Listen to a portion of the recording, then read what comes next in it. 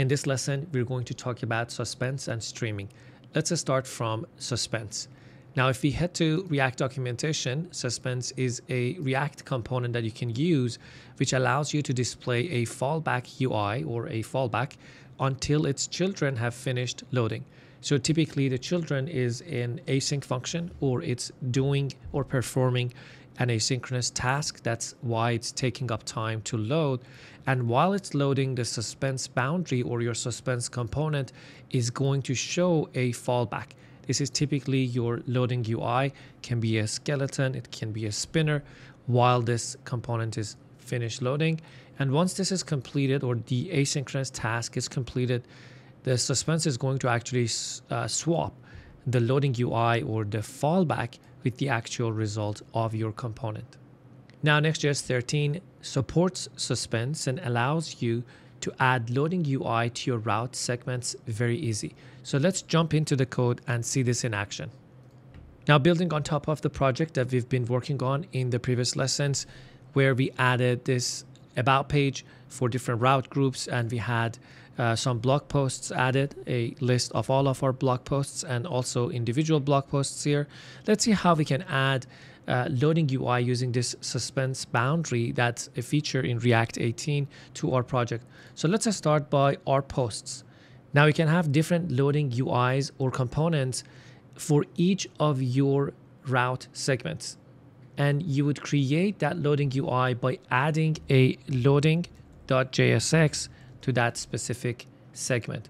So right now I have added this loading.jsx to my posts segment. So everything inside of my posts, it's now going to add this loading.jsx. I'm going to tell you how this works behind the scene, but for now, let's just add a loading skeleton to this. And all I'm going to say over here is a section with some paddings and then a container and inside of it, let's just add an H2 that says loading. Okay, let me just reload the page. And if I now visit this blog page, you can see that loading text showed up for a second before the actual content of our uh, posts page showed up. Now, inside of our all posts page, where we are using this get all posts function to fetch all of our posts and then show a list down here. Uh, I want to actually delay this uh, rendering for some time so that we can see this loading better. So I'm going to export an async function called wait. I'm going to get some milliseconds and all I'm going to do is return a new promise uh, that takes a resolve function and then this is going to call the set timeout function and it's going to call this resolve in that many number of milliseconds. This is just going to allow me to delay uh, the response of an asynchronous task for whatever number of milliseconds that I pass to it. So let's just go to the get all posts function that we have up top and let's actually await this wait function and I'm going to pass in 2000 milliseconds or two seconds.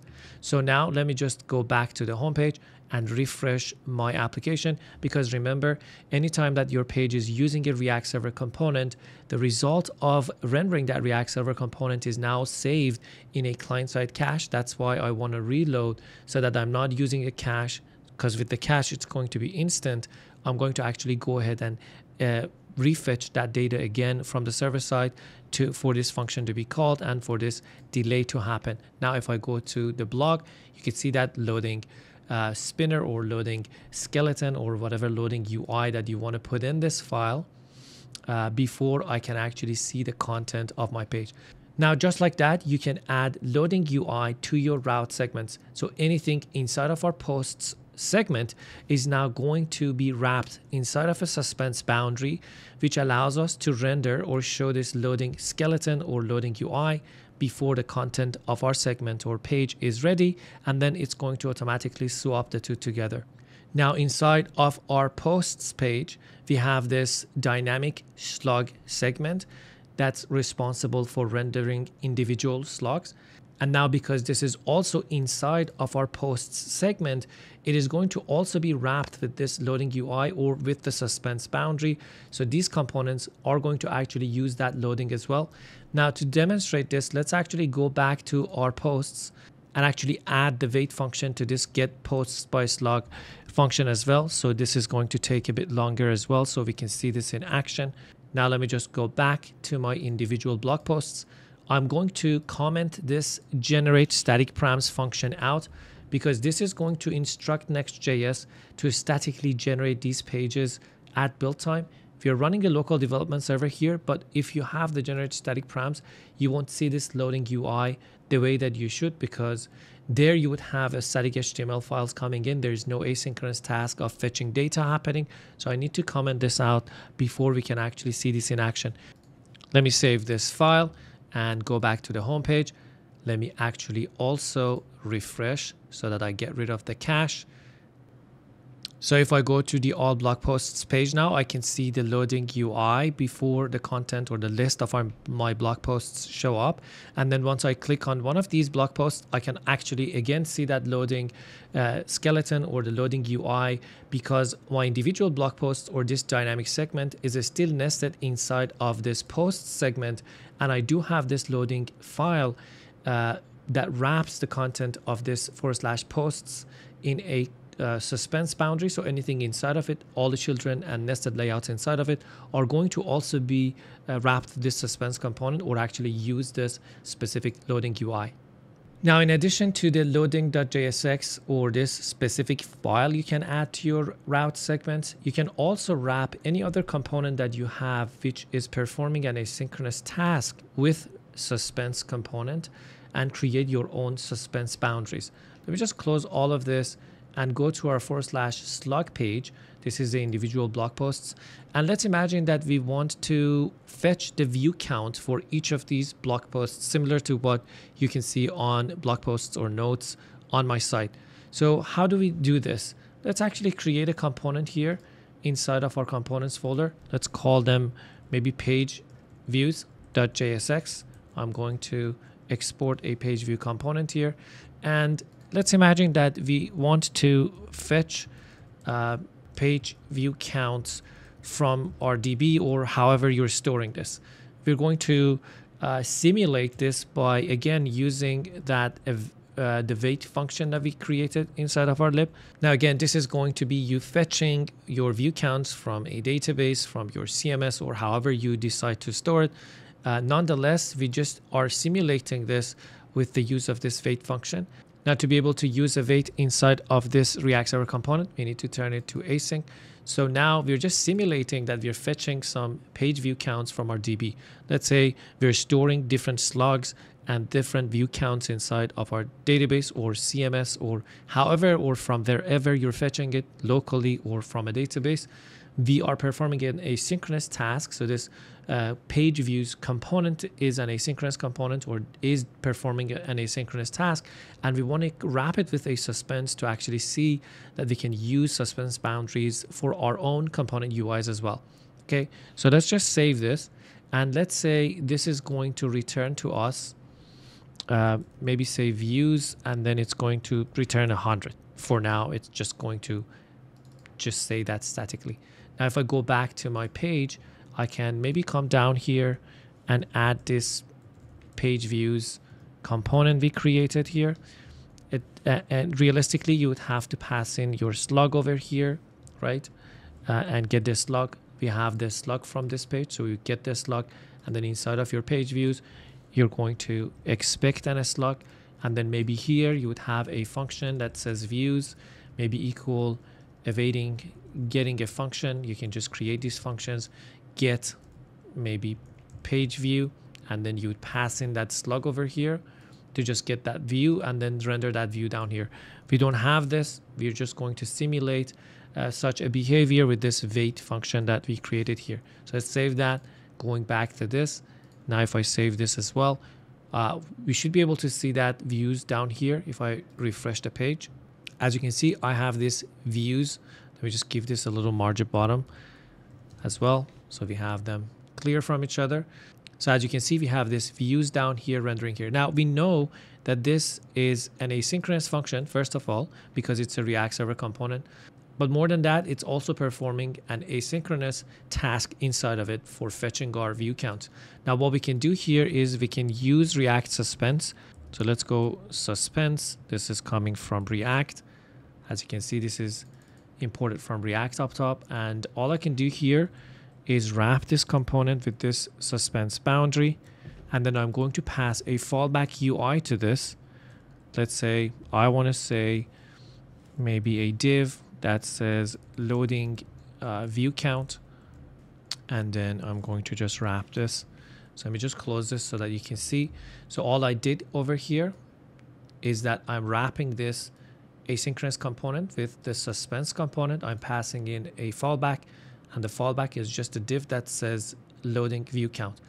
If I refresh this page, we may be able to see it. So we see the first loading and then see loading view count. So first of all, that outermost loading UI, which belonged to the posts segment, uh, was rendered to save your loading that specific blog post. And then once that actually rendered, this component kicked in. This is also using suspense. And inside of it, we're fetching some data. So we were able to wrap it with our own suspense component to show a fallback UI, to show a loading UI while that task is completed. And once it is, it's actually going to swap the loading UI with the actual uh, content of our component. One last thing I want to mention before moving on to streaming is that we can also add loading UI to our route groups. So if I go to our about page, you can see we created this route group, which rendered a side navigation for our nested pages with the use of this layout.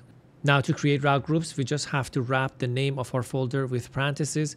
This is not going to affect our route segment or path. As you can see here, the about page is still accessed at forward slash about. So the name of this route group doesn't really matter because it does not affect the segment. Nonetheless, we can also use Suspense to add loading UI to our route groups by just adding a loading.jsx file to this route group segment. So here, let me just export a loading that just returns loading. Now, if I go to my about page, and pretend something time consuming is happening here. So I'm going to await that same wait function that we have created and I'm going to wait maybe for three seconds here. I'm going to turn this page into an async component. So now if I go back and if I refresh my page, what's happening is that inside of this about page, we are doing an asynchronous task. This about page is inside of our route group and this route group is actually sharing this layout and this loading UI. So if I now go to about page, you can see this loading uh, skeleton or text is showing before the about page is rendered. Now all the other pages are going to also share this loading UI as well as that layout as we learned in the previous lesson. But for the team and contact, because we're not fetching really anything, we're just rendering this div, it's near instant, but we were able to kind of simulate a more time consuming task happening on the about page. Now, typically these type of pages are static. Your company pages, team and stuff and whatnot are static, but you can imagine the same uh, route segment or a route group uh, for something that's actually really fetching data. Now, these can be different categories for your products. So you're fetching different categories, you're fetching different products belonging to categories, and you're just grouping them all in one route group. You can add a loading UI that's going to kick in anytime you're transitioning between different routes. So that was suspense and loading UI in Next.js 13 inside the app router. We can easily add loading UI to our segments by adding a loading.js or JSX or TS and TSX if you're using TypeScript to each segment. And then that segment is going to use that loading skeleton for all the nested children pages and layouts inside of it. You can render any loading UI that you want, a spinner, a loading skeleton, just a text for while the components finish loading. And once they do, it's going to swap them with the actual content of your components. We also learned that behind the scene, Next.js is actually just wrapping our page components or that segment with a suspense boundary. And let me just show you this diagram from the documentation. So when you add a loading.js file to your segment for a loading UI, what's happening behind the scene is that Next.js is going to wrap your page component inside of this suspense and then it's going to pass whatever you're returning from your loading.js file as the fallback to this suspense component. So this is happening automatically behind the scene, so you don't have to worry about wrapping your page components or layouts with a suspense. Eh, you just need to create a loading.js file, return whatever loading UI you want from it. Next.js is going to automatically pass that as the fallback to a suspense component that wraps your whole page inside of your layout. Now let's also talk about streaming. Now to understand what streaming is, let's talk about server-side rendering for a second. Now anytime that you are requesting a page that's a React server component, a request is going to the server and the server is going to fetch the necessary data for that page. It's going to then generate the HTML, send the HTML, CSS, and JavaScript to the client side. On the client side in the browser, uh, Next.js is going to first render a non-interactive version of your site. It's going to be the HTML and CSS non-interactive, so for for the user to actually see something. And then once the component JavaScript files or React is actually downloaded, React is going to kick in and make that component or page interactive. So this is the sequence of a request going to the server, the HTML being generated, and your page becoming interactive. Now, all of these sequences and steps are blocking and they're time consuming. So you won't be able to show anything on the client side in the browser until the data is finished loading on the server and the server has generated the HTML. Also, React cannot hydrate or cannot make your page interactive unless all the components or until all the components are downloaded on the client side. Now with the streaming, it allows you to send this HTML as it is generated on the server uh, in chunks. So it streams the response instead of waiting for the whole thing to be ready and send it to the client side. It streams the response in so you can show that UI on the page as they become available. And then also React is going to selectively start hydrating this chunks that come in from the server so your page will show up faster. This is a perceived uh, boost in the performance because the user can actually see components coming into the page but it's actually beyond the perceived performance. It's actually a better performance because now if you're not waiting for the whole data fetching to be finished to get some html if you're going to stream the html as they become available uh, now imagine that you have a list of content with layouts and sidebar navigations and stuff. So you're going to see the static parts of this component that doesn't require any data fetching first. So the layout is going to be there. On top of uh, that, layouts are not going to be re-rendered if the page is uh, has been visited before the layout is going to render once and then the result is going to be cached on the client side but for the segments that are changing in this case we're waiting for the data fetching but with streaming, imagine a list of maybe our blog posts or you know different segments and sections inside of your page that are going to be just streamed in and shown on the page and then hydrated with React as they come in, as opposed to waiting for the whole thing to be finished, rendered on the page and then hydrated with React. Now, I haven't found a good way to actually show this in the code to actually see these different components show up on the page. But if you look at the diagram that's inside of the Next.js documentation, uh, instead of waiting for the whole page to be plugged in, so you're dealing with a blank page and then the whole page is going to come from the server.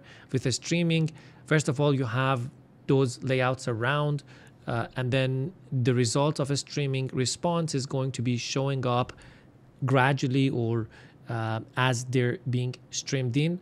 And streaming actually works with React component models because each component can be considered a chunk. So these components can be streamed in separately or as they become available. And then further down here, it actually explains that uh, React also prioritizes the components that are going to be more important based on the user interaction and the components that don't have any data fetching, they will come in first all in all, it's going to boost your performance because you're not waiting for that long request or the data fetching that's happening on the server to actually show something to the client. So instead of a blank page, you're showing UI, you're showing maybe your layouts, and you're also showing this uh, response streamed from the server as it becomes available. And it's also interactive because now React is selectively or partially hydrating different components inside your app uh, as opposed to waiting for the whole page to finish and then hydrate the whole page. So that's it for this lesson. In the next lesson, we're going to talk about error handling and error boundaries inside the app router. So see you in the next lesson. Bye-bye.